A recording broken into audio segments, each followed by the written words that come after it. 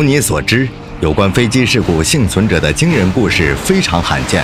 但是如果我告诉你，有一个人不仅在飞机掉入大海后活了下来，而且还设法和饥饿的鲨鱼对抗长达十五个小时，直到他被救出，你会怎么想呢？现在听起来是不是很有趣？这故事发生在一九八六年，故事的男主角名叫小沃尔特·怀亚特。这位三十七岁的飞行工程师，在十二月的一个下雨天，从巴哈马首都拿骚飞往迈阿密。双引擎比奇飞机上只有他一人。然而这次飞行并不平安，在拿骚，怀亚特的导航设备被盗，现在他不得不依靠手持无线电和简单的指南针。当天空变暗时，飞机已经飞过安德罗斯岛，指南针开始疯狂地旋转。为了不偏离航向，飞行员试图寻找一些具有标志性的地点来引导自己。突然，他注意到，他以为是连接到巴哈马最西部地区比米尼的一连串岩石，但当沿着岩石向北方航行时，他意识到两件事：首先，比米尼不会在汹涌的浪涛中；第二，他绝对迷路了，非常恐慌。为了保持冷静，怀亚特打开无线电并发送一通求救电话。他随即收到牙买加航空公司一架迈阿密航班的回复，接着他又向海岸警卫队发出呼救讯号，但在那之后事情变得有些混乱。虽然猎鹰搜索喷气机立即回复怀亚特的讯息，但猛烈的雷暴和另一次遇险呼叫却引起了混乱。结果救援飞机花了将近一个小时才联系上怀亚特的比奇飞机。所以，当橙白相间色的海岸警卫队喷气式飞机出现时，已经是晚上了，而且怀亚特飞机的右引擎也出现了问题。猎鹰指挥官告诉怀亚特说，将会在他附近紧急着陆，以试图鼓励他。他说：“只有十公里远了，他们会赶到的。”这架比奇飞机的飞行员终于放松下来，并听从了猎鹰的指示。不过他却不知道自己的厄运将至。突然间，他飞机的右侧引擎在咔咔作响后坏掉了，接着左侧油箱也空了。怀亚特意识到两侧引擎都已损坏，因此惊恐万分。一切都如闪电般快速发生，就在一瞬间，飞机开始减速并急速下降。怀亚特大喊着：“他要坠机了！”但猎鹰飞行员只能在沉默中震惊地看着这架飞机撞向大海，并消失于海浪中。他在坠机的地方绕着圈，拼命地试图定位飞机所在，但是无论是飞机还是人，他都没看到。绕了几圈后，他仍没看到救生筏、照明弹以及紧急讯号。这只可能意味着一件事：怀亚特没有活下来。尽管如此。猎鹰的机组员还是想继续搜索，但是燃油表显示他们的油箱已经要空了，非常紧急。下午六点，除了将飞机开回基韦斯特之外，他们别无他法。没有人能相信他们刚刚目睹的悲剧。他们计划先加好油，再回来继续搜索。但是怀亚特的飞机着陆后，究竟发生了什么？当飞机接触水面后，这位飞行员的额头撞到了仪表板，几乎把他撞晕了。幸运的是，他没有失去意识，仍然能够控制局面。他觉得飞机弹了一下，又猛烈地撞入水中。怀亚特拿着两颗照明弹爬上了机罩，并为自己的救生衣充好气。当他看到救援喷射机的灯光靠近时，松了口气。他急忙点燃照明弹。但什么都没发生，在发出嘶嘶声后，它就熄灭了。第二个照明弹还在他手上时就破了，情况变得越来越绝望。这个男人所在的机翼突然在他脚下坍塌，仅在几秒钟内，飞机就消失了。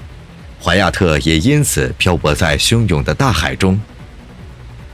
幸运的是，该飞行员有上过海上求生的课程。知道保存体力的重要性，但是尽管他有所尝试，半小时后他还是开始颤抖，腿也在抽筋。不过最糟糕的是，他陷入了绝望。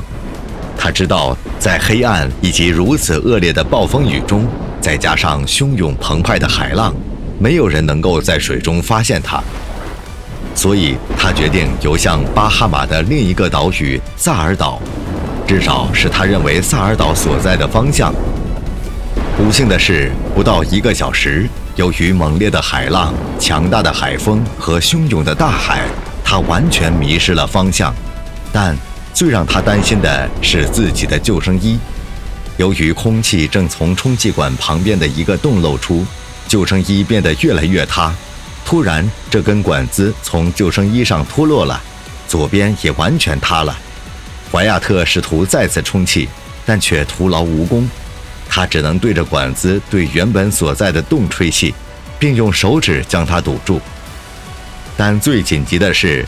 当飞行员的前额撞到控制面板时，留下了一个正在渗血的伤口。疼痛并不是最糟糕的事情，他受伤最可怕的后果是血液里有金属气味，吸引了在那个地区狩猎的鲨鱼。怀亚特并没有打算放弃。首先，他取下了脖子上挂着的航空公司身份证，并用表带刻上了他的遗嘱：最西房子。他希望人们能够读懂他想把自己的房子留给女朋友醉西的遗愿。此外，他还为他的家人及他的父母、他的儿子华特和女儿珍妮弗留下了一条编码信息：幺四三 MDGWT，意思是我爱你们。在他将身份证牢牢地系在救生衣上后，他瞥了一眼手表，晚上八点。接着。突然，他觉得有什么东西撞到了他的腿上，原来是鲨鱼前来享受他们的盛宴了。这个男人的极度惊恐症差一点就要发作了。鲨鱼看似离开了，但怀亚特知道，一旦他们闻到了猎物，就会回来。此外，他的救生衣的右边也开始泄漏了。不久，这边的充气管脱落了，和之前一样，飞行员将空气吹入洞中。并用另一根手指堵住，以确保不会有大量空气漏出。他努力将头保持在水面之上，试图用口干舌燥的嘴接一些雨水。与此同时，在基韦斯特补充燃料供应的猎鹰队员飞回了他们最后一次见到比奇飞机的地方。救援飞机后跟着一架海军直升机，其任务是给下面的大海照明。令人遗憾的是。风暴并没有平静下来，能见度几乎为零，这对飞机上的人来说太危险了，所以他们又受令回到了基地，将搜索推迟到早上。在水中，疲惫不堪的飞行员感到腿部受到了另一次撞击，他踢了一脚，惊慌失措中不小心将手指抽出了救生衣上的洞，他开始被水充满，在某个可怕的时刻。他沉入了水中，他拼命拉拽，直到把救生衣脱掉，然后设法回到了水面，大吸了一口空气。他差不多花了一个小时才冷静下来，恢复理智后，怀亚特又给救生衣的左右室吹了气，并将身体放在上面。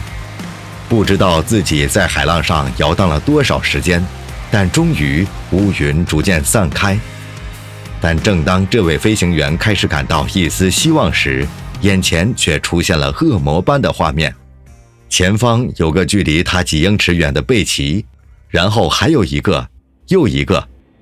这个男人意识到鲨鱼回来了，他们打算围剿他。当第一只鲨鱼潜入水中，并朝向他的腿游去时，怀亚特设法用脚后跟大力地踢在了鲨鱼的两眼之间。这吓坏了捕食者，他游走了。尽管如此，他们并没有就此罢休，继续在附近绕圈。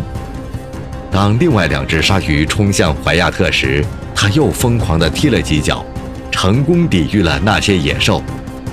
他的策略是，只要鲨鱼冲向他，他就全力以赴地将它吓跑。但是怀亚特也明白，他的反击迟早有落空的时候。那时也将是他的死期。当怀亚特看到云层和一颗明亮的星星向他靠近时，他觉得自己已经疯了。但不久之后，他意识到这是一架海岸警卫队的飞机，正盘旋着在搜索他。当飞机靠近时，怀亚特开始挥动他亮橙色的救生衣，以吸引飞行员的注意力。某一刻，他还惊慌失措地以为他们没有注意到他，但他错了。在驾驶舱内，飞机的机长已经向海岸警卫队的船只发射了无线电，他们距那里只有十二分钟的路程。紧接着，小船急速前往救援。就在那时，猎鹰的飞行员看到了围绕着怀亚特的巨大阴影，他立即给小船发了无线电，督促他尽可能快地抵达目的地。起初，怀亚特不明白为什么这架飞机没有为他丢下救生筏，但是不到一分钟的时间，他就得到了答案。一艘小船冲过海浪，这名男子将手挂在了底部的梯子上，两名男子不得不帮助他。因为他的身体已经没有力气了，他被救出的时间是上午九点，也就是说他在海上漂泊了大约十五个小时。哇哦，你还知道其他哪些神奇的生存故事吗？在留言区里告诉我们吧。如果你看了这个影片后学到了新知识，别忘了给我们的影片点赞，并把它分享给你的朋友吧。但是嘿，先不要去研究大海啦。我们的频道里还有超过两千个超酷的影片等着你观看呢，你只需要从左右两边的影片里挑一个，点击就可以了。请持续锁定亮生活频道吧。